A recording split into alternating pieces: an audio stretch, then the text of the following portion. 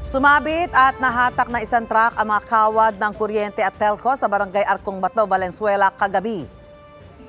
Natumba ang dalawang poste na nagdulot ng magdamag na brownout sa lugar. Ayon sa mga residente roon, ito na ang ikatlong beses mula Disyembre na may sumabit na truck sa mga kable roon.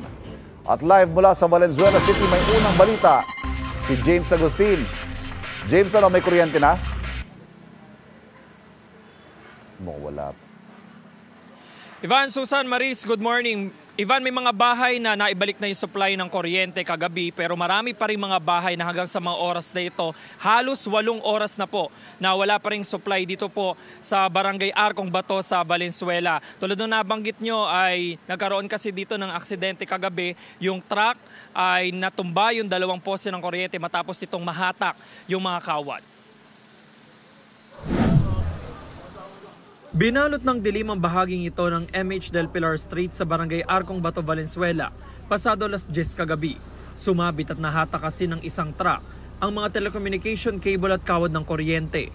Ang resulta na tumbang dalawang poste at nagka-brown out sa lugar. Tulog po kami tapos bigla na lang pong may malakas na tumno, sumabog. Po yun. Tapos yun, lumabas po kami. Nakita po namin na nagkakagulo na po marami ng tao. Ang bilis niya. Tapos nawalan kami ng kuryente, hinabol ko sa kanto. Hinabol ko talaga siya. Yun. Pag ano ko, nakatigil naman na sila yung pala, nasabitan niya na yung mga poste. Malaking abala sa mga residente. May mga trabaho yung mga tao, katulad ng anak ko may trabaho. Pupuyat, ah, wala yung wifi. Ang tatlong anak naman ni Heidi nakitulog sa kanilang kaanak. Apektado ng kawalan ng kuryente maging ang negosyo nila. Yung mga paninda kong barbecue, katulad niyan, walang kuryente. Eh yung ref, di ba? Masisira yung mga paninda ko. Sabi ng mga residente, ikatlong beses na simula Disyembre na may truck na sumasabit at nakakahatak sa mga kawat. Buong magdamag na nagtrabaho ang mga taga Meralco, may mga tauhan din ng telcos. Dahil nakahambalang ang truck sa gitna ng kalsada at marami nakalaylay na kawat, hindi mo na ito pinadaanan sa mga motorista.